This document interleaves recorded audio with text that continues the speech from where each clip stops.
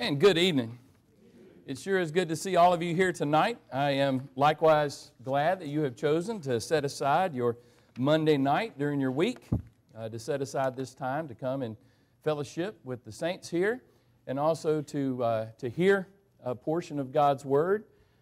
I appreciate Brother Hiram's uh, kind words, and, and certainly I, I respect Brother David Anderson very much. I, I have a a high respect for authority in general. I have a, a, high respect for elders in the Lord's church. But I'm here to tell you that his mama is a powerful force at the Timberlane Church of Christ as well. And you neglected to mention that, and I won't tell her. But uh, this, she is a fine lady. Uh, I love her dearly. Uh, and she knows how to, to wield influence in a godly way uh, within the local congregation. And I, I, appreciate her very much. So uh, it is, uh, it's good uh, to, uh, to know her and to, uh, to know that family. I would uh, ask if you would to take your Bibles and turn to Hebrews chapter 4. If you are biblically ambidextrous, you can go ahead and keep a uh, hand there at Matthew 28 if you were already there. We will arrive back there in, in just a, a few minutes. But I want to just ask you a, just a general question as we get into the lesson tonight. Have you ever noticed that there are things that, are, that seem so easily understood biblically? And that people, if they were dealing with any other subject matter in the world, they would readily agree that the obvious understanding is the case. But when it comes to something biblical that they may not agree with, then they will do all sorts of mental gymnastics and, and convoluted logic to try to uh, twist and distort things to make sense to themselves. I've noticed that too. And it's rather unfortunate because people do that to their own demise. People will do that and put their own souls at risk. And so, with that thought in your mind, uh, turn your attention to the first few verses in chapter 4 from the book of Hebrews says, Therefore, while the promise of entering his rest still stands, let us fear, lest any of you should seem to have failed to reach it. For good news came to us just as to them, the Israelites, but the message they heard did not benefit them, or your translation may say profit them, because they were not united or uh, mixed with faith with those who listened. For we who have believed enter that rest, as he said, As I swore in my wrath, they shall not enter my rest. Fundamentally, the Israelites had heard the word of God. They had heard the truth. They had seen the power of the living God. What seems to us to be so obvious, just do what God said. You saw his mighty works. You've been led out of the the nation of Israel. You have been brought to the, the Mount Sinai there. You have received the law. You now have a beautiful tabernacle out there. You have manna every day. You have quail. God is taking care of you. You've got water in a, a parched and dry land. And yet, God tells us that they did not enter into his rest. They heard God's word. And now we have a warning here. You've heard the word of God. What happens? When we don't heed it? What happens when we don't listen to what God has said? Now, the, the title is uh, intentionally provocative here in, in the, along those veins, but believe it or not, in the words that we just read, in that passage we just read, there is the concept of a recipe. There is the concept of taking component parts and mixing them together and producing something there. And there's actually two words I want us to look at as we kind of establish this baseline, and then we'll get into the, the rest of our lesson. But we'll end up here at uh, the time of our invitation as well if you wanted to keep that part marked. But the, when it says that they have, uh, the good news came to us just as to them, but the message they heard, the word from God that they heard, did not benefit them or profit them. That word in the Greek means to combine the individual parts, to combine multiple parts, so that the result is something greater than the sum of those component parts. We understand the concept of profit in the capitalistic world. We understand the, the, uh, in the business world what profit is. You take whatever your capital is, whatever your people are, whatever your, uh, your needs are to, to put into that business, and all of those component parts go together. And hopefully, as your customers start giving you their money and you start selling your, your wares or whatever the case may be, at the end of the day or at the end of the month or however long you tabulate that, hopefully all of those component parts did not cost as much as the money that you've got coming in. That, that all of those component parts, when added there together, produced something that was greater than what you started with. Your bank account got bigger. You made a profit. It also says there that the problem that they encountered, because this did not benefit them, says they were not united by faith with those who listened. Uh, that word there means to mix or to permeate, and it means also to combine component parts in a way that the result is distinctly different and superior to what you started out with. Now, we, uh, we see that as it pertains to the Word of God, uh, uh hopefully very readily uh, you look at your Bible, you see the different instructions that come from God. You see uh, the instructions that have come through the inspired writers. You see instructions and commands that are given by Jesus Christ Himself. But as we read through the Bible, we may have uh, an indication or instruction over here. We may have another one over here that, that dovetails with it. The two component parts are then added together. We take the teaching that we receive here, the teaching that we receive here, and all of these things added together produce something that is truly amazing. Because what they produce is a child of God in Christ Jesus. Now, the easiest way to kind of understand this concept here and how it relates to being a, um, a recipe of sorts is a very, a very easy illustration to understand. At least it was for me. We'll try it on y'all, see if it works for y'all. But if you take tea leaves nice, dry tea leaves. Put them in your mouth, chew them up. Is it any good? No. But if you boil them, and now you've taken some hot water, you've added to it some heat, now you add those leaves into that hot water. Now you got something working because it's producing something that is better as well as distinctly different from those dry leaves you just munched on. Certainly better and distinctly different from that water that you boiled, but then you add some sugar to it. Now we've got sweet tea. Now we're talking. Now it is something that is superior in every way to each of the component parts. And that's the word that is given there. That's what we do when we take the teachings of God and we allow them to mix together, to permeate our heart in our lives, and we actually begin applying those things. And so now we have a recipe for salvation. Now we have a means of understanding how the Bible teaches us and what is expected of us. All right? So now, let's make some pancakes. Do y'all like pancakes? I love pancakes. I think we have, uh, we have an, an expectant pancake eater right here all, toward the front because I, I, I was almost threatened if I wasn't going to be making some pancakes. Did I ever see that as a threat? No, we, uh, we want to take this very seriously here. But I, ladies, y'all may understand this a little bit better. I had to do some research before I came up with this. But here's two lists of ingredients, and you'll see that they're very, very similar. And I want to ask you, what difference does it make? All right, you got flour and flour. You got baking powder. You got baking powder. You got salt, salt, sugar, sugar, milk. We're good one egg versus three eggs. That can't possibly make a difference. And then you got butter and you got shortening. Same thing, right? It's the same recipe. You like this one better, you take that. If that's what you prefer, you can take that. If you like this list, if that's what you prefer, you can take that one, right? Well, I don't know. Now let's look at this one. How about sugar, brown sugar, water, and vanilla extract? I'll go ahead and tell you that Granny's recipe for homemade syrup right there. Just in case y'all were wondering, and yes, it's absolutely delicious. Or the other group has butter and milk shortening, cocoa, confectioner sugar, and vanilla extract. The same exact stuff, right? You're going to produce the exact same result, right? No?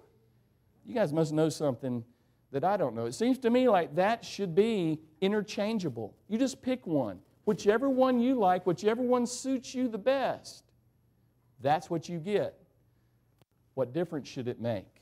Well, there's a great big old stack of pancakes. That was that recipe that was there on the left.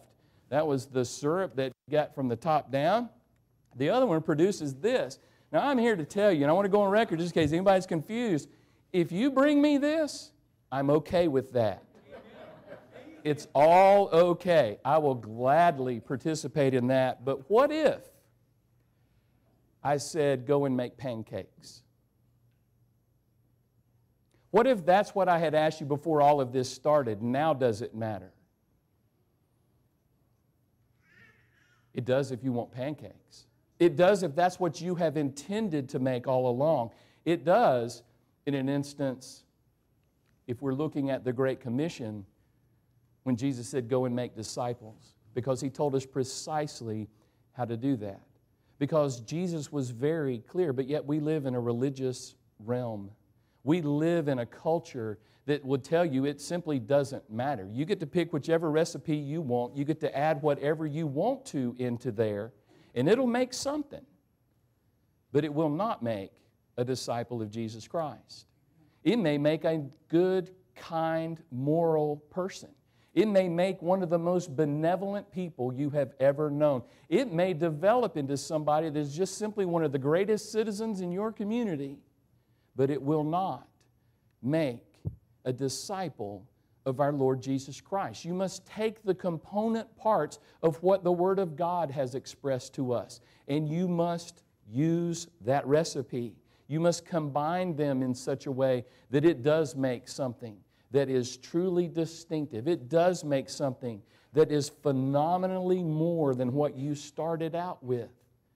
When we hear the gospel and we see uh, where the, the scriptures teach us in component parts that we must believe that Jesus is the Son of the living God, that He is the Christ, the Messiah, and that in believing that Jesus is the Christ, in believing that He is the Lamb of God who gave His life uh, as a sacrifice for all people of all time, for the sins of the whole world. That in contemplating these things, I hear God's call to repent, to turn away from my sin and turn back to Him, to turn away from the path that I was walk, walking down, and to turn back and follow Jesus to Him but that in repenting of my sins, based upon my faith that Jesus is the Christ, the Son of the living God, I also must acknowledge before people that Jesus is my Lord, that He is my King, that He is my Master, and not be ashamed of Him in front of friends or family.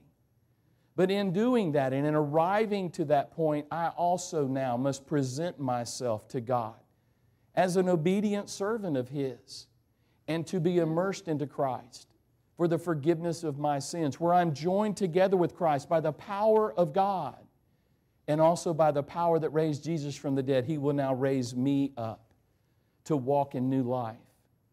And as these component parts are there, the icing on that cake, if you will, or the syrup on that stack of pancakes, is the faithful Christian life. All of those component parts produce something that God desired. And what God has told us to do in that Great Commission is go and make disciples.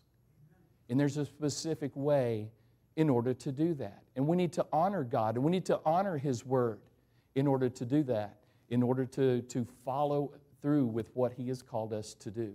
We have an obligation for that. But at the same time, we hearken back to that passage in, in uh, Hebrews chapter 4. This isn't about preferences. This isn't about what I want. This isn't about what I prefer. This is about what God desires and what God prefers because He has made Himself known and He has made Himself clear and He has given us what we need in order to make disciples of all nations. All right, so let's look at this and, and uh, turn your attention there to, to Mark, uh, excuse me, Matthew chapter 28 and that great commission uh, that is recorded in that place as Jesus was preparing uh, to depart. Picking up in verse 16, it says, Now the eleven disciples went to Galilee, to the mountain which Jesus had directed them. Notice the obedience there. What would have happened if they had gone to a different mountain? What would have happened if they said they preferred the Mount of Olives? Anything wrong with the Mount of Olives? No. Did Jesus like to go there in the past? Absolutely. Was that where they were to meet him on that occasion? Absolutely not. Why? Because God said so. Jesus told them, This is where I want to meet you. So they're following his instructions uh, to that point. And when they saw him, they worshiped him, but some doubted. And Jesus came to them and said, All authority in heaven and on earth has been given to me. Go therefore and make disciples of all nations. There's the command, there's the charge. This is what we're trying to do. And now Jesus is going to tell us exactly how to do it baptizing them in the name of the Father and of the Son and of the Holy Spirit, and teaching them to observe all things whatsoever I have commanded you. Those things go hand in hand. Those are component parts that cannot be separated. If we leave out any part or if we add in something extra, we may end up with something, but we're not going to end up with disciples of the Lord Jesus Christ. Because in order to accomplish what God has called upon us uh, to, to share with the world, we must do things God's way. Remember when I started out asking the question have you ever noticed how people have an easy time understanding obvious things except when you're talking about religion? The way this is constructed should leave no room for misunderstanding. The way that this is laid out, it should be very easy to understand. Let's, let's think about Mark's uh, account of the gospel. When he says, Go and, and preach the gospel to every creature, and the one who believes and is baptized should be saved shall be saved, didn't he? Isn't it interesting how little words mean things like that and change the meaning? The one who believes and is baptized shall be saved. That was a promise from Jesus Christ right there. But so many people will say, you know, all you got to do is believe. No, but Jesus said, believe and be baptized. Now, if I told you same group of people. And I said, you know, I'm going to give away a brand new pickup truck. What you have to do is you have to come and fill out an entry form, and then you have to take that entry form and present it, and they'll give you the free pickup truck. How many people would just show up at the dealership and say, I want my truck? Or how many would understand that you had to go and fill out the information and take it to the dealership? They would gladly comply with both parts there. But boy, when it, you mention baptism, people's heads explode. And they suddenly can't understand that very simple means of human communication baptism and belief. Belief and baptism. Both of them are necessary. Here we have this instance that, that says, Go and make disciples of all nations baptizing them in the name of the Father, Son, and the Holy Spirit, and teaching them all things whatsoever I have commanded you. There are multiple component parts to the Great Commission. But if you look at that, baptizing them would be an equivalent in making those pancakes of mixing the batter. Because the recipe says all those parts, you put them in there, you mix them up, and then you pour it on the griddle. The same construction is found there if we were mixing the pancake batter and then pouring it onto the griddle is you have baptizing and teaching them. Both of those are necessary to be a disciple of Jesus Christ. You cannot be a disciple of Jesus Christ if you are not baptized into Christ. Likewise, you're going to struggle if you are not properly taught, continuously taught, properly discipled, and we do not complete that process, it produces something different than what God intended. That doesn't mean that their baptism wasn't valid. That means that it didn't get fully baked. It means that it was an incomplete process. So we see that, and we can look around this world and we see all kinds of people that understand the concept that I need to love my neighbor as myself. I need to love the Lord my God with all of my heart, soul, mind, and strength. I need to love my enemies. I need to pray for those that, that uh, spitefully use me, those that, that say such difficult things and, and hurtful things about us. We get all those things. And there's plenty of people in this world that understand the concept of turning the other cheek. There's all kinds of people that understand of singing praises to God and all, but they want to draw the line, and for some reason, they will refuse to obey the command to be immersed into Christ for the forgiveness of sins and say it's unnecessary. Well, if it is unnecessary, flour is not necessary to pancakes because it's all part of what makes a disciple of our Lord and Savior Jesus Christ. When we look at this and we, we see what's going on here, when Paul was going and he was going through his, uh, his mission work and, and, uh, and uh, completing these things, he would always double back. He would always return to the places that he had been before and he would touch base with them. Let's go to Acts chapter 14. And I want us to look at one uh, instance here where he did that very thing. He doubled back and, and met with the disciples again. And we're going to pick up in, in chapter 14 and verse 20. It says, But when the disciples gathered about him, he, Paul, rose up and entered the city. And on the next day, he went on uh, with Barnabas to Derbe. And when they had preached the gospel to that city and had made many disciples, notice the language there go and make disciples. How did he do that? He preached the gospel. Isn't it interesting how nothing has changed? How do we make disciples today? Go and preach the gospel, baptizing them in the name of the Father, Son, and, and, the Holy Spirit, and teaching them all things whatsoever. But now he goes on, and it says that uh, when he had preached the gospel to that city and made many disciples, they returned to Lystra and Iconium and Antioch, strengthening the souls of the disciples, encouraging them to continue in the faith, and saying that through many tribulations we must enter the kingdom of God. And when they had appointed elders for them in every church, and with prayer and fasting, they committed them to the Lord in whom they had believed. When we look at that and we see uh, what it is that, that uh, is there, there's several words that appear, and each one of these that are all part of that continual discipling uh, process that Paul engaged in. All of these are, are presented to us as things that are ongoing and continuous into the future.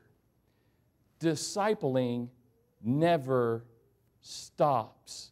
It is something that we have, uh, have lost sight of in so many ways. And it is sad to see one, a, a new life, a, a, a new life in Christ that is born, rising from the waters of baptism.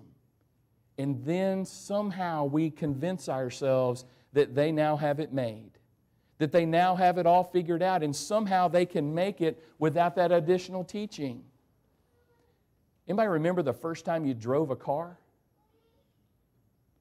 What would it have been like if your education in how to drive ended that day? You thought you were a good driver. I'm going to bet you weren't. I certainly wasn't as good of a driver. I'm not going to say I'm a great driver. I wasn't as good of a driver then as I am now. Why?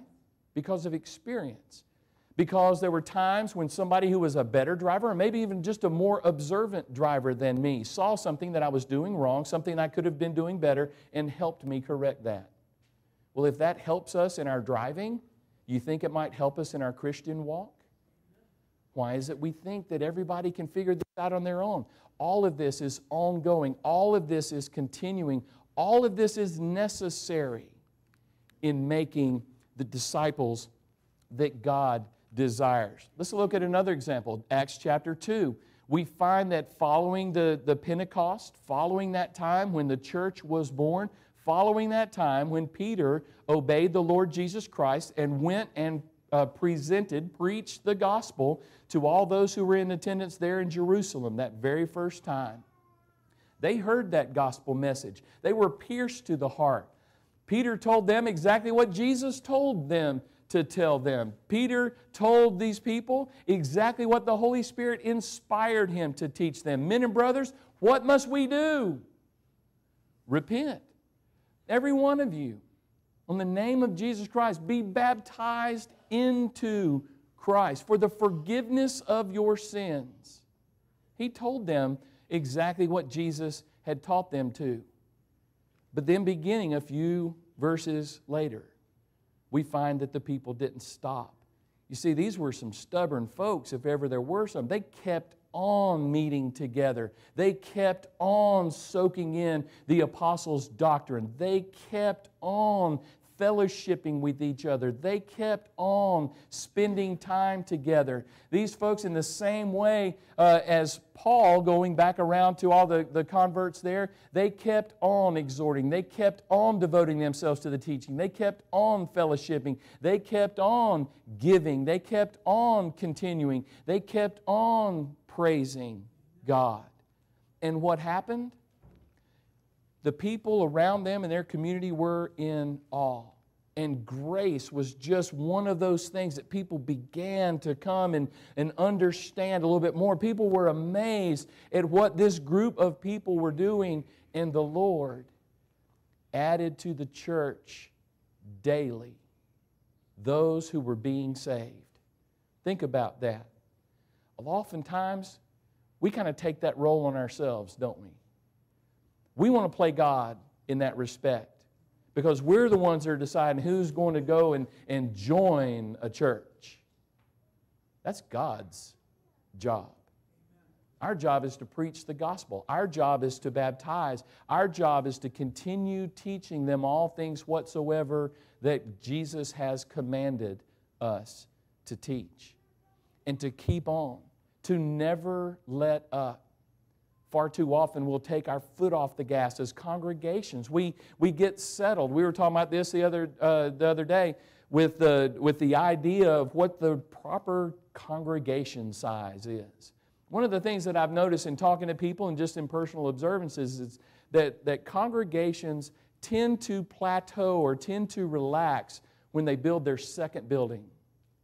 And I don't know what there is about it. There's a lot of zeal, there's a lot of fervor, there's a lot of excitement, and, and the group begins to grow, and everybody's excited, and, and you get your first building, and then all of a sudden you outgrow it, and, and you, you got to start that building program, and everybody's excited. We got to keep things moving, we got to keep things moving. But boy, you get that second building, and whoo, we have got it made.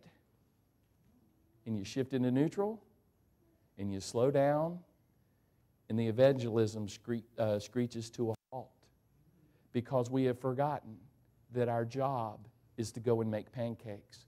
We have forgotten that we are to go and to preach the gospel to every creature and remind them that the one who believes and is baptized shall be saved.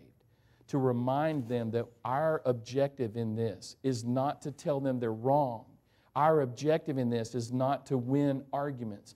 Our objective is solely to preach the gospel of Jesus Christ so that disciples are the result. So that they are baptized into Christ for the forgiveness of their sins and that they are continually taught the things that God has decreed that they need to, to learn and to know. We need to keep on making uh, disciples. We need to realize that this process simply never stops and we serve in communities. We serve in congregations. We serve in groups of people that all you have to do is look around this room and see the differences in us. When you go into the foreign mission field, you see differences in people there. When you go into another state, you see even more differences there. Everywhere you go, it's easy to see all these differences. There is only one hope for this world and these differences that divide us, and that is our Lord and Savior Jesus Christ period. And if we want to overcome the baggage of racism in this country, Who but the Lord's church is equipped to do that? Why? Because our God is greater than any hatred known to man. Because if we can learn to put these things aside, won't our Lord be uh, glorified in, in us, in our congregations? Won't our world see something that is truly amazing if we can strip these things away? How many of you, as, some of our more seasoned members here, or maybe you've had family members. How many of you ever felt like just because of your age and maybe your gray hair that you were just kind of set aside a little bit? There's no retirement plan on this side of eternity for Christians. And it is equally wrong to sit down and retire in the pew as it is for a younger person to write you off because of your age. We need to understand each other. The Bible is complete with information telling us older women teach the younger. But if you've ever spent time around Bible Bowl and you've ever spent time around lads to leaders and leaderettes or whatever, anytime you write off some of these young people thinking, well, they just don't know anything yet, you need to talk to some Bible Bowl participants and you need to sit down and take that test and see how much some of our young people actually know. But it's so easy when we're older, when we're more mature, you just write them off that they're just kids. That's evil. That's wrong. And it is not allowing us to fully disciple one another. We have things that we can teach people. You want to understand uh, what it is like, young people? You want to get to know older people? I told this to my kids. I'll tell it to any young people that will listen. You want to engage a conversation with somebody a couple of generations ahead of you? Ask them one simple question What was it like when you were my age? you better sit down because you're going to get an earful. Am I right? We need to talk. We need to talk about life. We need to talk about the things that are important, but if that talk does not include spiritual things, we're not discipling one another. We're not continuing to learn from one another. And the church will never be all that God intends for it to be different life stages. We're, my wife and I have just become empty nesters, and at almost the same time, we became grandparents. Our life perspective is so much different than it was 20 years ago. Does that mean we're worthless? No. Does that mean we're better than anybody else? No. It simply means that we're at a different point in our lives. We need to engage people that have already been through this. And we need to engage people who have yet to go through this. We have something to offer, people have things to offer us. We need to bridge these gaps. We need to be able to take the teachings of Scripture, apply them to our lives, allow it to produce something in us that is far greater than the component parts, something that truly glorifies God. And then spiritual maturity. This is one of those that is very, very difficult because, for the most part, I either don't know you or just met you. I honestly don't know what your level of spiritual maturity is. But you know what my inclination is? I'll pick on him because he just fed me dinner. Brother Brian, he's got some gray hair going there, right? So I, I should be able to assume that that is a spiritually mature man. I have no idea whether he was immersed into Christ a week ago or whether he's a full blown atheist that somebody just invited over here to this meeting. I don't know. To me, he looks like a fine Christian man. Outside appearances can be deceiving.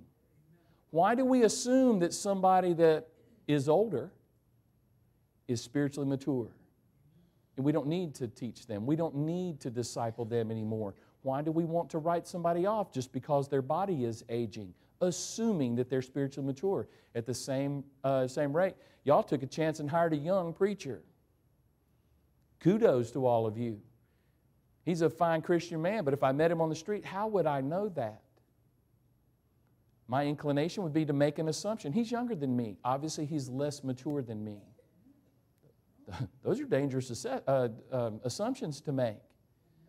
So when we look around and we look around us in our, our congregations, when we look around in our Bible classes, when we look around in the church parking lot, in the foyer, in the fellowship meals, wherever we find ourselves, let's try to get to know one another on a deep level so that we truly know who it is that we're talking to. We truly knew what we have, uh, what we have to offer them. We truly then can know what they have to offer us, and together we can disciple each other because this is the plan that God has given to us. Our salvation doesn't stop at baptism, it starts then. Our walk doesn't end when we arise from those waters, it starts at that point. And if we baptize, but we don't teach, then we don't have what God has called upon us to produce. When we see that, that whole idea again, the, uh, the uh, go and, and make disciples, baptizing them in the name of the, the Father and the Son and the Holy Spirit, teaching them to observe all things whatsoever uh, I have uh, commanded you. We also have that, uh, and lo, I will be with you always, even until the end of the age. And in, in essence, at that point, there's the cooking of this. All of those component parts uh, have now been handled. The batter has been mixed with the proper ingredients. It's been poured on the griddle, and now it's time to cook. And we mature. We are transformed by the living God. The Spirit produces love, joy, peace, patience, kindness, goodness, gentleness, faithfulness. All of these things, this self control that we need, the Spirit produces these in us. This is what we are.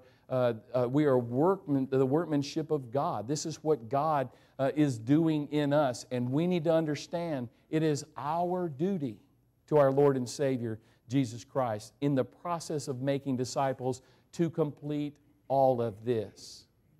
We can understand it with a recipe for making pancakes. We have a difficult time understanding it in the spirit realm, but grammatically, you lay them out the exact same way. It's easy to understand the one, but why is it so difficult for us to understand the other? As we kind of uh, wrap all of these things up, I would, I would invite you to turn to Hosea chapter 7. There's a, a statement that's made there that, that bears on what we're looking at uh, here and, and the accusation against uh, Israel, the accusation against Ephraim.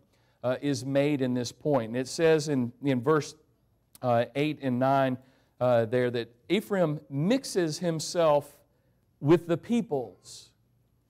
You see, for him, he had the wrong ingredients that he was mixing together. He was commanded by God to be separated from the peoples around him, yet he was mixing with them, and the result is that Ephraim is a cake not turned.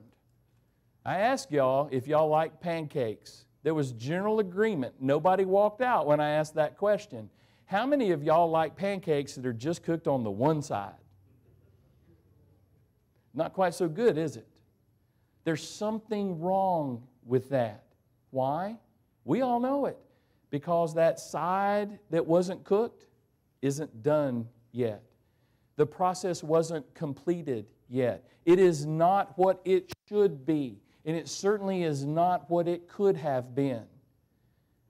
And Ephraim, because they did not listen to the word of God, because they did not heed the teaching of God, because they didn't take all of the principles, all of the teaching, all of the spiritual ingredients, and mix them together, and then finish the cooking process. Ephraim's a cake unturned. It's something that is distasteful. You take a great big old bite, you're going to spit it out of your mouth. And that's precisely what God was saying. You started something, but you did not finish it. You did not do all that I commanded you. And you did not finish it. And what it has produced is something, but it is not what I intended. Now, with that in mind, go back to Hebrews chapter 4. In chapters 3 and 4, all of this story is coming into uh, the minds of the, uh, the people who are, are hearing this for the first time and a, a recounting of what God did with the Israelites in the wilderness. Back in chapter 3, it tells us on several locations there, uh, beginning in verse 7. Today, therefore, as the Holy Spirit says, Today, if you hear his voice, do not harden your hearts.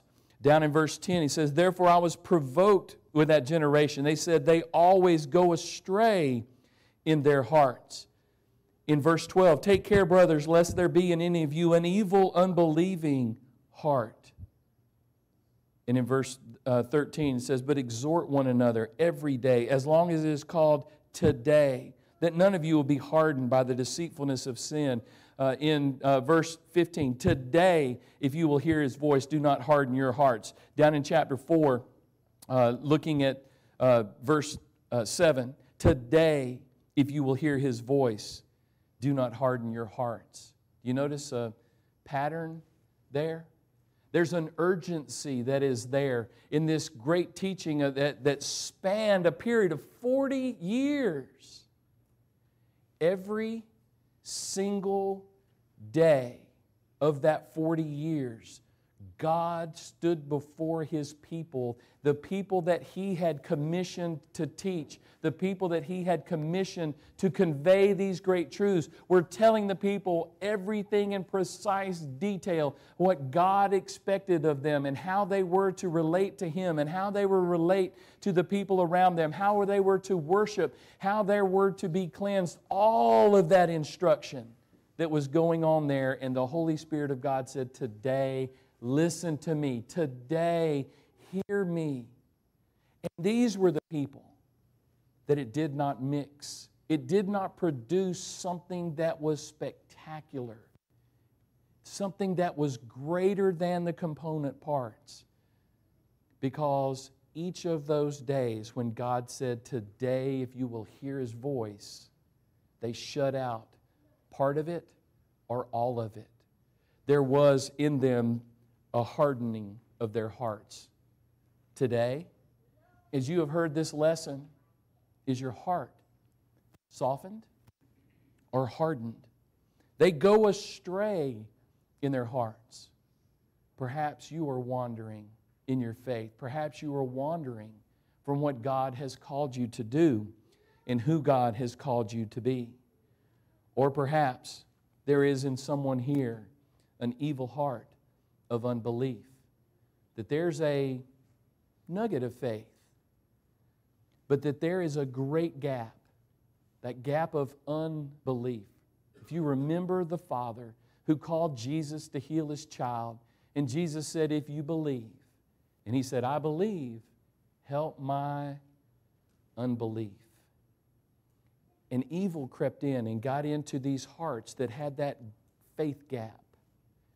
And as surely as it happened to the Israelites in the desert, it can happen to the Christian today. And as we think on these things, and we think about the, the commission that God gave to us through His Son Jesus Christ, we're here at a gospel meeting. I think the go and preach the gospel part is, is okay. We're in good shape there, right? But what about that, the one who believes? And is baptized. Maybe you heard the gospel tonight for the first time and you're wondering, well, I believe in Jesus. What next? If you are not baptized, if you do not obey the fullness of the gospel, then you are a cake unturned. Because all that God has asked has gone unfulfilled. Parts of it may be there, but you still do not end up with what God decreed. So tonight, whatever your need may be, that commission that Jesus gave to us extends to the unbeliever, it extends to the partial believer, and it extends to the Christian who is still a cake unturned. We're going to sing a song of encouragement. We would invite you to come if you have these needs or any others as we stand together and sing.